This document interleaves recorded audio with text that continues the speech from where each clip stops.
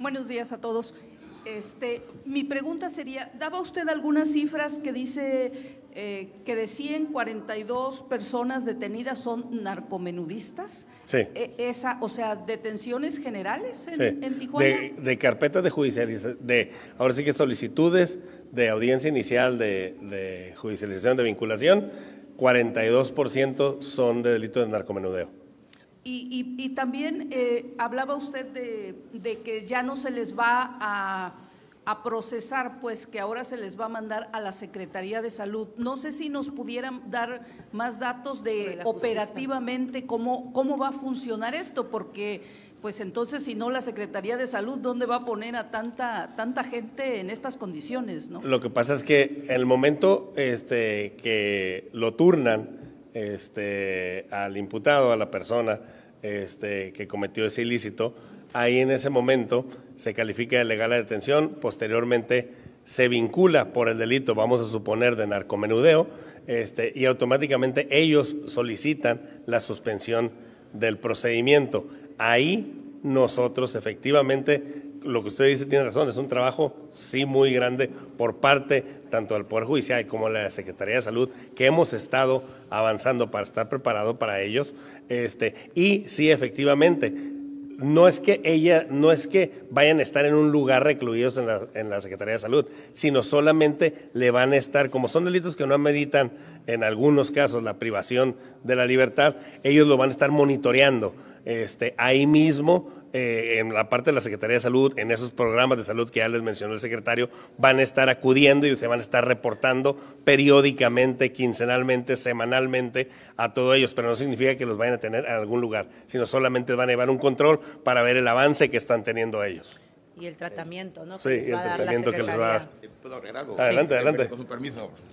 Eh, sí, es un trabajo eh, de mucha coordinación. Agradezco al, al, presiden- al magistrado presidente eh, lo que hemos hecho en estos meses previos. Es un trabajo de coordinación. Nosotros, nuestra responsabilidad va a ser al- cuando ellos nos envíen a una persona que cometió algún ilícito bajo la influencia de las drogas. Tenemos ya 15 puntos distribuidos en todo el estado. Se llaman centros comunitarios de salud mental y adicciones, donde contamos con psicólogos, psiquiatra, con médicos generales, con enfermeras, con gente que nos va a ayudar a poder, eh, obviamente, evaluar de primera intención y darle un seguimiento al proceso de rehabilitación de esta persona.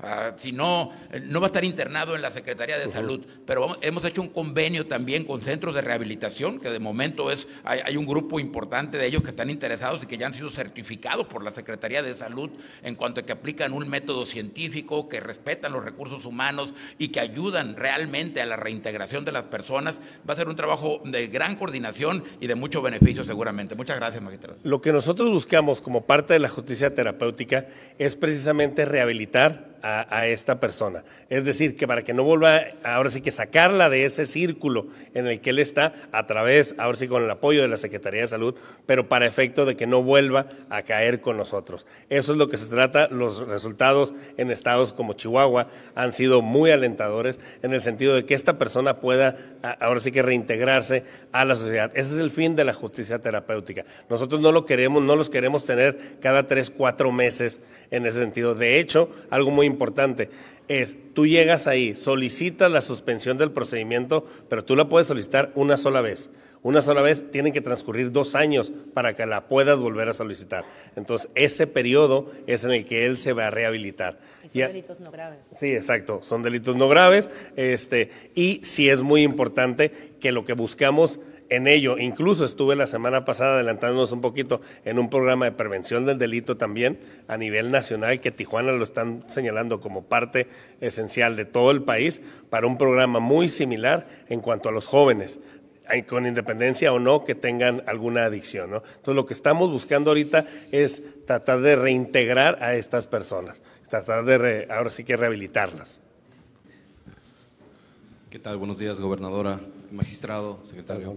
No, Eh, preguntarle en específico dos cuestiones. Uno, saber si para el próximo año eh, usted va a plantear que haya recurso para el Poder Judicial, específicamente para capacitación de jueces en esta materia, en caso de que fuese necesario algún tipo de capacitación, y también justamente pues para mantener el programa, este piloto que se ha tenido de las pruebas eh, de fentanilo para la CEMEFO, porque sabemos que esa es eh, una parte importante de la estrategia. Y en un segundo punto, ¿cómo asegurarse de que las personas que van a pasar por este proceso no terminen teniendo muchos de los problemas que tienen las personas que salen de la cárcel, que es no pueden encontrar trabajo, en muchas ocasiones el hecho de que tengan un récord eh, significa complicaciones para ellos, hay muchas empresas que no contratan a personas si tienen algún tipo de, antecedente penal y en muchas ocasiones eso los lleva a tomar trabajos que podrían nuevamente llevarlos a, a esa situación. ¿Cómo poder apoyar desde el Poder Judicial eh, para asegurarse de que no haya ese otro camino complicado para estas personas en las cuales sus oportunidades laborales, que al fin y al cabo, si tienen una oportunidad laboral, ayuda a evitar que, que, que pasen malos tiempos, ¿cómo asegurarse de que eso sea una realidad? Gracias. Gracias. En el primero de los, de los de los cuestionamientos. Afortunadamente hemos tenido, por allá está nuestro buen amigo Alejandro de Departamento de Estado de Estados Unidos e INL.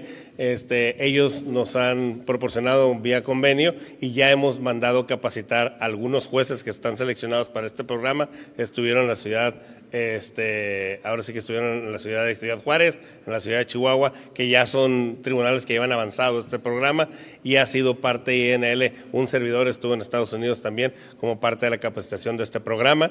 Este, y para el próximo año no tenemos, ahora sí que no requeriremos, si acaso nomás la cuestión de las plazas que ya habíamos platicado, pero no es algo que marque en el presupuesto de una manera considerable ni que no se vaya a realizar por falta de presupuesto. ¿no? Esto es solamente algo que se va a proyectar y, vamos a caminar.